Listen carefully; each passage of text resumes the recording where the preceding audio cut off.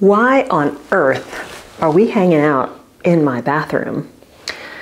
Because my bathtub has become the plant ER. These guys have ugh, mealy bugs. This is not a new problem. These plants have been infected for quite some time, and I've been treating them, but not aggressively, and now it's time. So what are mealybugs? Mealybugs are a scale insect. They suck the plant juices out of all of your leaves, basically leading to atrophy, leaf drop, and then eventually plant death. It's really common for houseplants, so if you got it, don't worry, we can help you. How do you get mealybugs? Well, they can come in in a lot of different ways. These guys are super tiny, so they're really hard to see. Could, they could come in on a new plant that you brought in from a nursery or from a plant sale. They could come in from outside. They could come in on some produce that you bring in. Think about them like an infectious disease, because basically they are. So how do we treat for that? Well, you have to come at it from all sides and you gotta be diligent and keep treating. One time isn't gonna hack it. Very simple treatments though, and this is all stuff you already have around the house. So let's get started.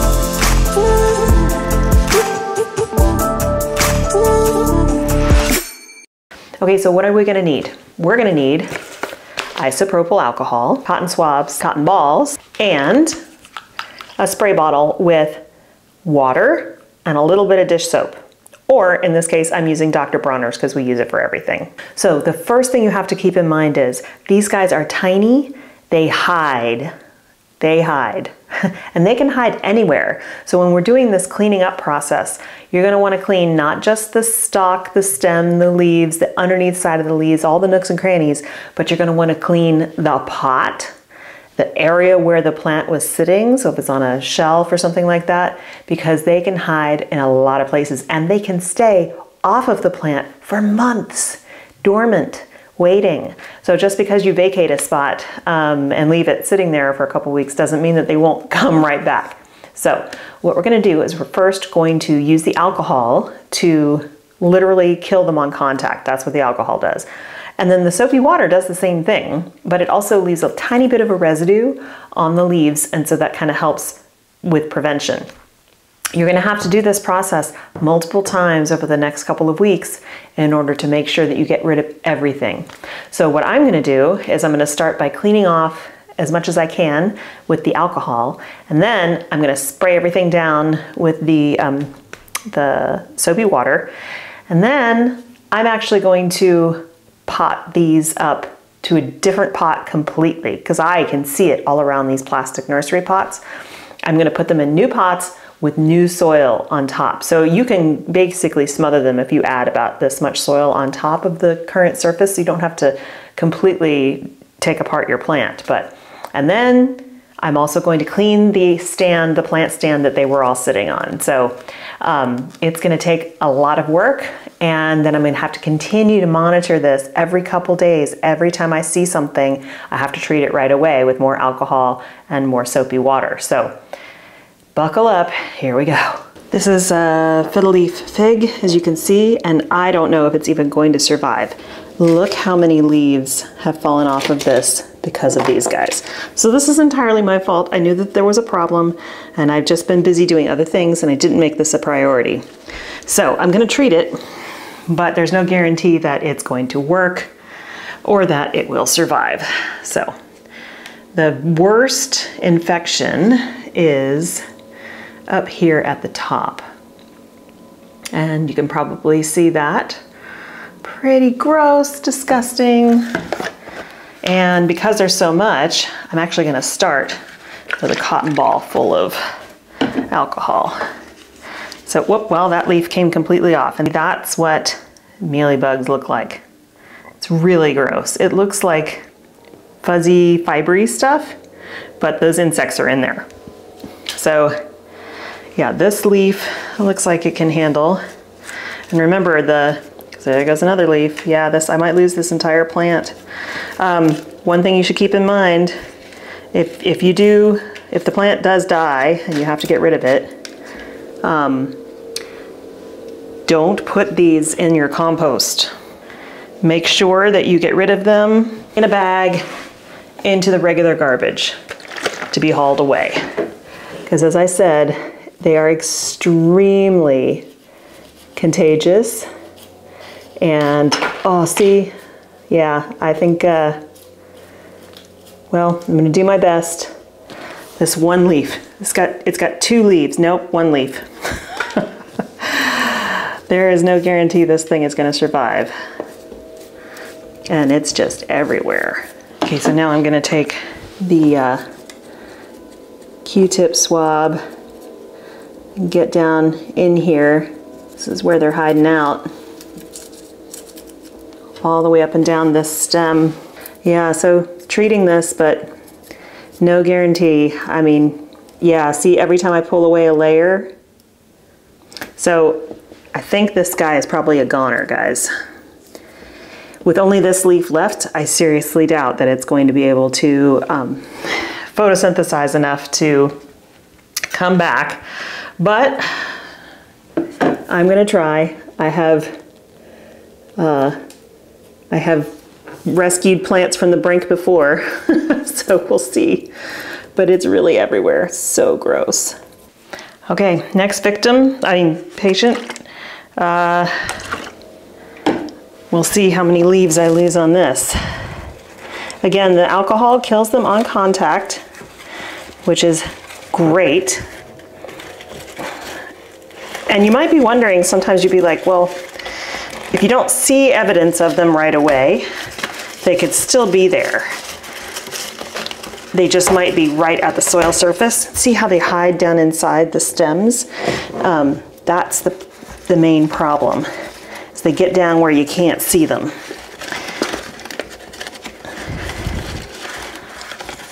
Okay, so I'm gonna pull away all this dead or dying material.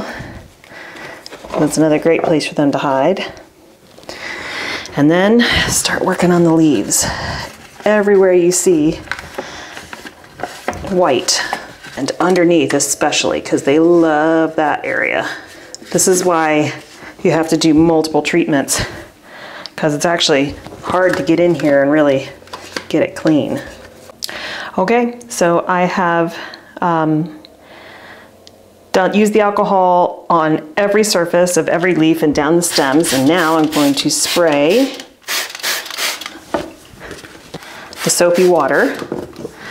Now, could you use neem oil? Sure, you could. Uh, neem actually will stick around a little bit longer than, um, than the soapy water will. You will have to do the same thing and keep applying. But I find that neem is pretty stinky. Next customer. So all these dead leaves, this is really a result of the sap sucking. So they are pulling all the vital nutrients away from the leaves and then that causes them to die. I had this really badly uh, infest, a real bad infestation on a ponytail palm a year or so ago and I moved it outside and the sunlight took care of it. Even though some documentation says don't move it outside because it'll get worse, um, I found that the sunlight actually fixed the problem. Um, maybe it just baked them. All right, it's time for the alcohol treatment on this guy too.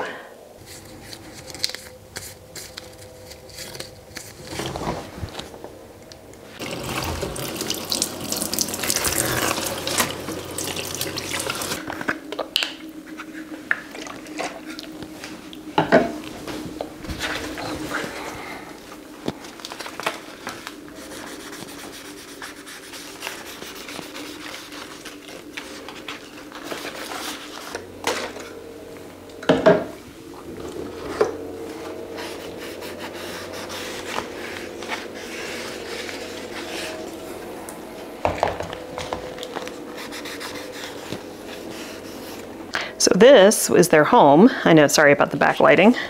Uh, this is where those plants were living in my bedroom. And those pots, in my mind, are completely contaminated right, right now. So what I'm gonna do is I'm gonna put them outside here in the direct heat and sun with some other dead plants. and uh, then I'm gonna clean off this um, stand with alcohol. These guys don't fly, but they do um, crawl and they can go pretty far.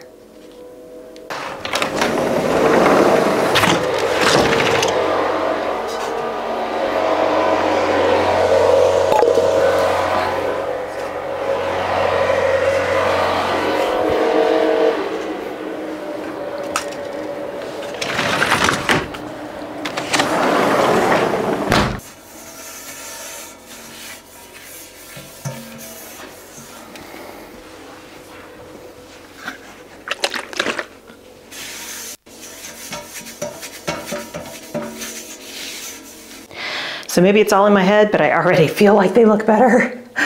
So again, uh, treated them with alcohol. And do you see all the all the curled edges and burned like what looks like burns? That's not. That's from the sap sucking insects. They are killing. That's necrosis. They're killing the plant material. So you can see how that can destroy a plant.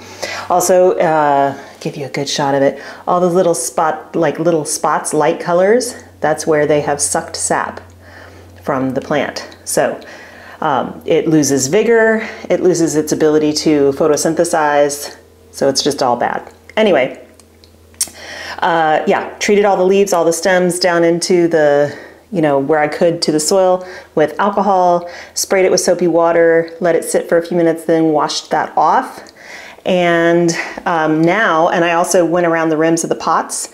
Tomorrow, when I have more time, I'm going to transplant these completely out of these pots and give them some new soil to cover up where those things are probably laying eggs. So that's pretty much it. I hope that you don't get mealy bugs, but if you do, now you know how to take care of it. You just have to be diligent. You have to keep coming back time and time again. You have to make sure you clean everything. Just treat it like it's a bad case of the stomach flu and you want to be super cautious about spreading it around and you'll be good. Just keep on disinfecting, keep on cleaning, keep those plants healthy, and I'll see you in the next video. Bye.